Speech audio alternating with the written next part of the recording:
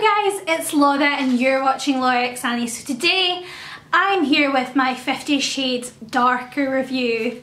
Ooh, so happy Valentine's Day by the way. I'm still single on Valentine's Day. I'm actually filming this before Valentine's Day. God, I look like a poodle. Um, but I did get a little thing for Valentine's Day. I got roses for Valentine's Day. I got these from my mum came up today, I'm filming this on Sunday, so she came up today and with my dad and she gave me roses. And if you didn't know, roses are my favourite flower. But what did you guys get for Valentine's Day? Let me know in the comments down below. So, I went to go see Fifty Shades of Grey on Friday the 10th of February, which was the day it came out. So first off, I want to talk about the soundtrack.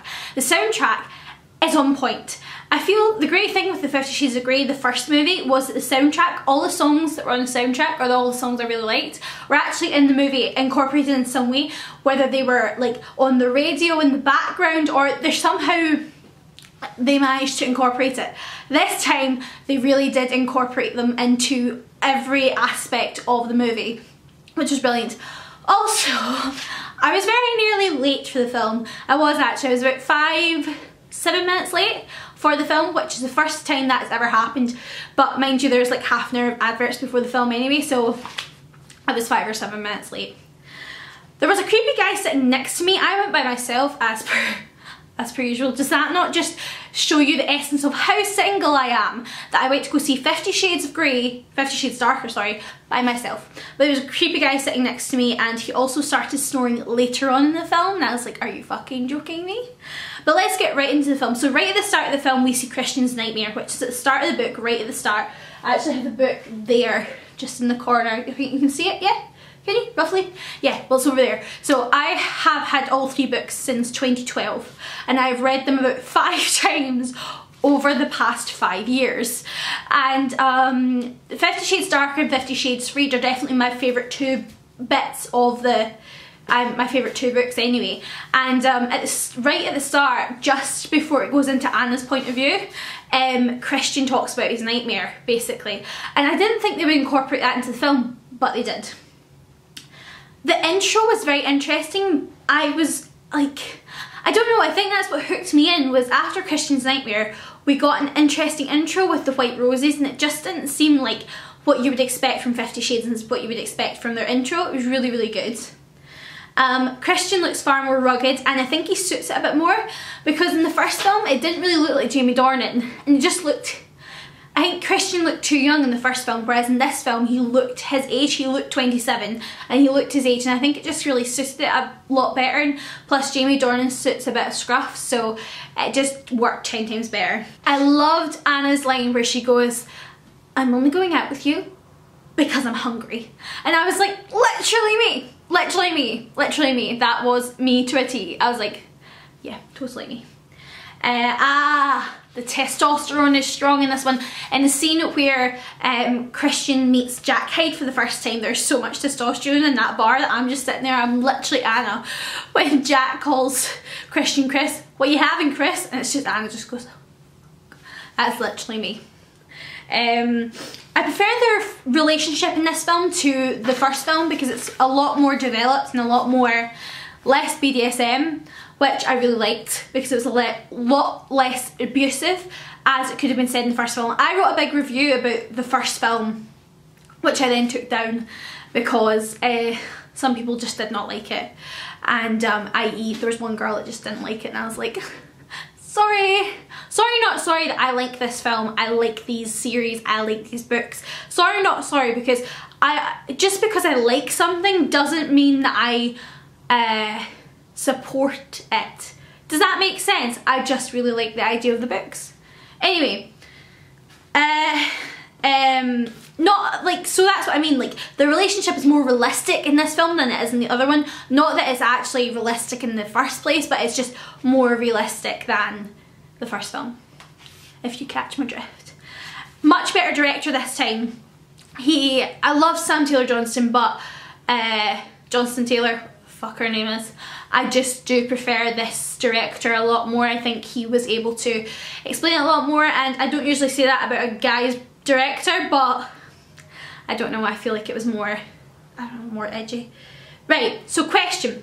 Where Christian cigarette burns on him in the first film, was any eagle-eyed viewer able to see them? Because I don't remember if they were, but they were present in this film. I do love a good convo about virginity, but I must admit I'm with Ana on this one because she was like, oh, I was waiting for the right guy, I was reading Austen and no one ever lived up to that ex expectation until you came along and I was like that is literally me and I will stand by that. That's probably one of the biggest bits of the film that I completely stand by and completely agree is Ana saying that she has such high expectations that she was waiting for the right guy and then suddenly she found Christian. Not that I would agree that Christian's the right guy for me, but maybe he's the right guy for her. But for me, it's like I'm still waiting for that right guy to come along and I will wait till the ends of the earth for that right guy. I'm not gonna throw it away and I think that's an important thing that in a film like that that might be understated I think it's an important thing to realise. Leila i.e. Bella Heathcote, who I didn't know was in Dark Shadows, was just um, out of focus in certain shots and I really really liked that because I thought it was really pleasing on the eyes the fact that she's sort of outside of the shots and yeah. I want Ana's closet, everyone wants Ana's closet. The beads scene is hilarious, which is the, me if you know the book, you'll know the beads. Um, of all the scenes for Nick Jonas, who is the love of my life, music to come on, i.e. Bom Bidi Bom, which is one of the best songs I've ever heard in my life, of all the scenes for it to come on is my favourite scene out of the book, which is um, when they the sex scene at the ball. Of all the scenes, of all the scenes, I was so happy when that happened. Jack's a fucking dick. You know that from the books. He's much different. I think he really, I don't know. I like what Ana's wearing to inspect the playroom in this film it's very similar to what she was wearing in the first film when her and Christian went in to play for the first time. Not when she went in and saw the Red Room for the first time, but as in the first time that they went in and actually played. She was wearing a kind of dress and black flats.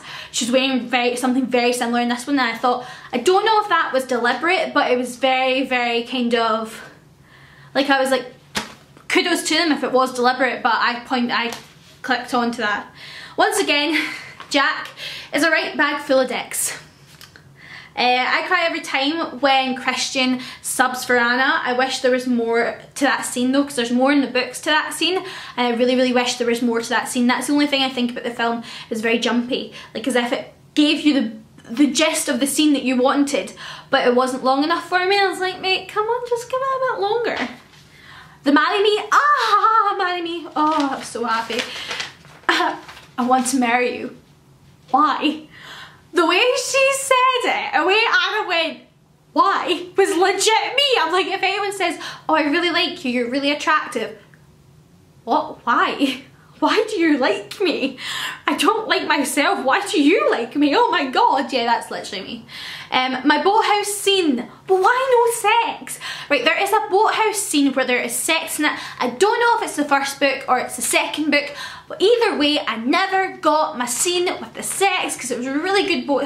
It's a really good sex scene, but it's not in the movies. It's not in the first movie. It's not in the second movie. I'm like, really? Come on.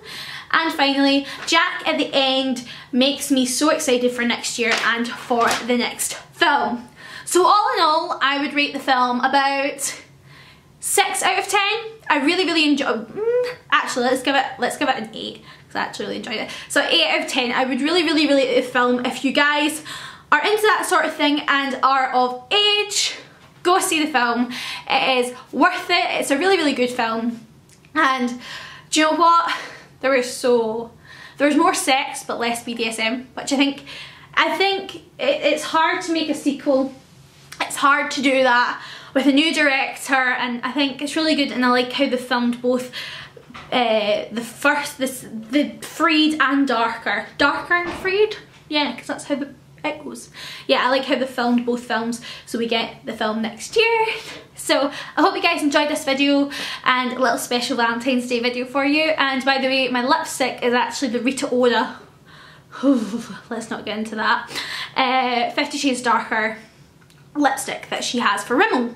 So you can get that at Superdrug by the way, just go get it it's really nice and it's a really nice consistency. And yeah, I will see you guys again on Thursday for a video, a little slight update in my life due to the fact that I'm now acting again. So I'll see you on Thursday for that. See you then. Bye.